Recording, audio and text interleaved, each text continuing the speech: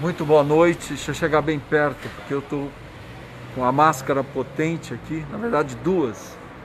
Eu estou aqui na UPA da Vila Xavier, no nosso polo de atendimento de pacientes com Covid. Estou aqui ao lado da Dani, nossa querida enfermeira que tem feito um trabalho fantástico aqui na UPA da Vila e, claro, da minha parceira e companheira de jornada, a secretária Ilana Naim. Nós estamos aqui vendo de perto o atendimento da UPA da Vila. Como ontem eu estive no Melhado, também no hospital de campanha, é, já havíamos feito isso no final de semana, estamos acompanhando a vacinação, mas aqui o que, que eu quero conversar com vocês de forma muito franca, muito franca. O atendimento, claro, é muita gente procurando, porque é muita gente com sintomas, infelizmente é muita gente com sintomas, mas o serviço todo ele organizado, as pessoas sendo atendidas. Hoje aqui tem o que? Seis médicos, Dani? Tem cinco médicos. Cinco médicos atendendo, cinco médicos atendendo, inclusive retorno. Quatro médicos atendendo os pacientes que chegam e um médico, inclusive, atendendo retorno. Pessoas que é, são positivadas, que a doença não evoluiu, mas precisa do acompanhamento. Além do acompanhamento domiciliar que nós estamos fazendo, do acompanhamento pela telemedicina, enfim. Mas o, o serviço está fluindo bem.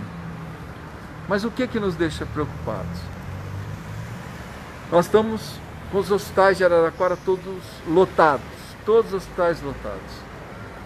Nós estamos com o hospital de campanha funcionando no seu limite máximo, inclusive nós estamos trabalhando muito, muito mesmo, é porque um, um hospital de campanha que precisa de infraestrutura de UTI, claro, os leitos de enfermaria são mais fáceis de serem ampliados, mas estrutura de UTI você precisa fazer várias adaptações de oxigênio, de gases e claro também contratar mais profissionais para que a gente possa dar conta dessa ampliação. Mas nós estamos trabalhando para ampliarmos o hospital de campanha e até esse final de semana nós teremos mais leitos em operação no hospital de campanha.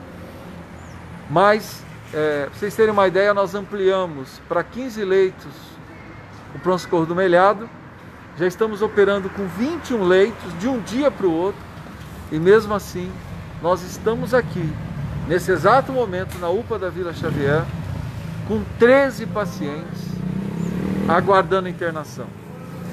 Então isso é uma... E nós vamos interná-los, pode ter certeza. Alguns talvez como quadro, porque aqui não é que as pessoas estão sem atendimento, aqui tem respirador, aqui tem oxigênio, aqui os médicos eu quero agradecer muito aos profissionais da área, da área médica e também aos profissionais da área da saúde, enfermagem, técnicos.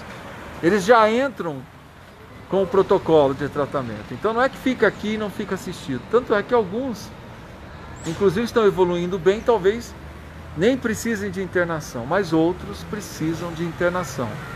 São 13 pacientes, ou seja, nós ampliamos vagas, ampliamos leitos e mesmo assim nós não estamos dando conta de darmos vazão a todos os pacientes positivados. Ninguém desassistido, zero de desassistência.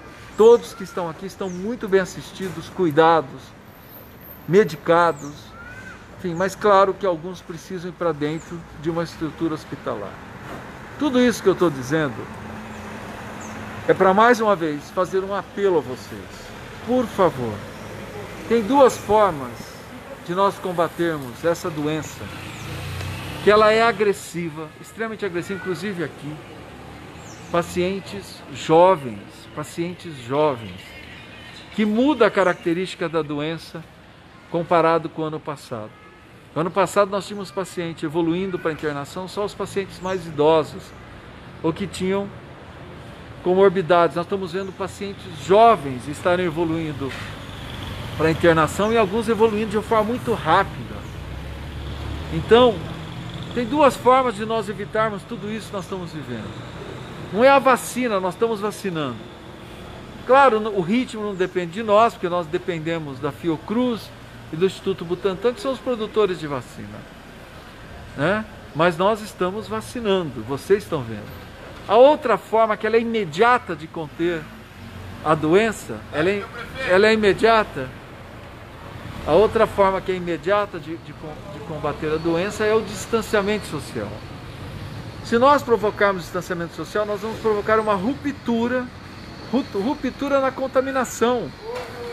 Menos pacientes contaminados, menos pacientes contaminados, serão menos pacientes evoluindo para internação, portanto serão menos leitos demandados e também menos leitos de UTI demandados.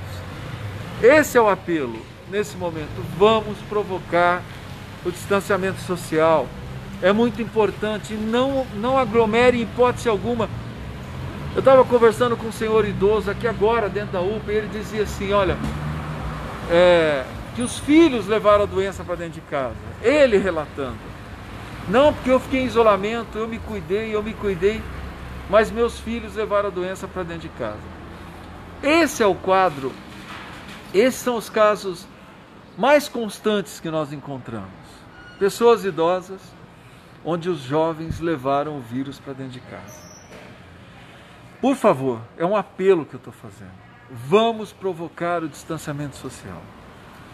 São, nós não estamos falando isso para o resto da vida. Nós estamos pedindo um esforço, um esforço, um sacrifício para que a gente possa derrotar esse vírus e a gente possa romper essa curva de crescimento da doença, para que possamos evitar óbito. Tudo nessa vida a gente conserta, absolutamente tudo, menos a morte. Uma vida que vai embora, não tem como a gente consertar. E nós não podemos achar normal as pessoas estarem morrendo de Covid-19. Nós não podemos achar normal as pessoas estarem morrendo. Então, um apelo que eu faço: vamos provocar o distanciamento social. Vamos interromper essa curva de contaminação. Vamos tirar essa pressão que nós estamos sofrendo em cima da nossa estrutura hospitalar. Porque por mais que a gente esteja trabalhando e não é força de expressão, ninguém aqui está é, dormindo mais de 3, 4 horas da noite. É de madrugada que a gente está correndo atrás, para que a gente muitas vezes possa no outro dia já acordar com 4, 5 leitos a mais montados para que a gente suplemente a nossa estrutura de produção de oxigênio. Eu estava comentando aqui para eu encerrar essa live com a Dani e com a Eliana.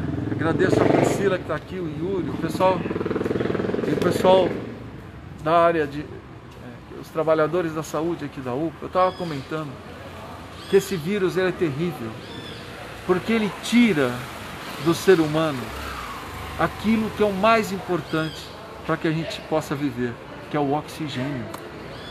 Ele tira a possibilidade da pessoa respirar.